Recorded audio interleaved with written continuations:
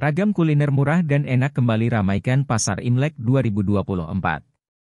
Kota Tanjung Pinang terdiri atas beragam etnis, suku, budaya dan agama.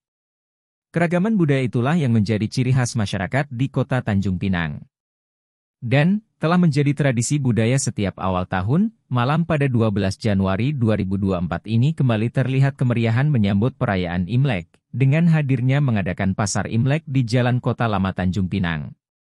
Sama seperti tahun lalu, sepanjang kawasan pasar dipenuhi ornamen oriental yang serba merah menambah semaraknya menyambut perayaan Imlek bagi warga Tionghoa di kota Tanjung Pinang.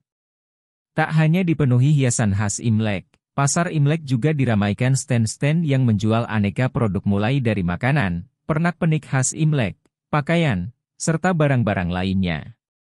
Apalagi perayaan Imlek kerap dimeriahkan dengan panggung budaya, festival lampion, dan pesta kembang api.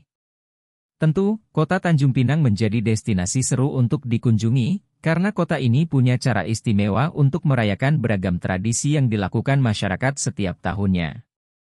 Pasar Imlek akan berlangsung hingga dua hari sebelum perayaan Imlek dari pukul 5 sore hingga malam. Pasar Imlek bisa menjadi tujuan warga yang ingin mengisi acara seru jalan-jalan sore bersama keluarga maupun teman-teman. Video, Yadi. Editor, Dedi Swada.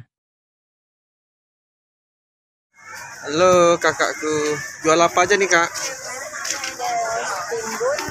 timbun, yang mana? Singapura, ada tom yum, kaldu ayam sama. Harganya berapa aja nih bu?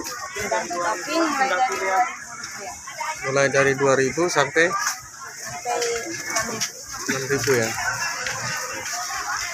Bu, apa target omsetnya berapa nih?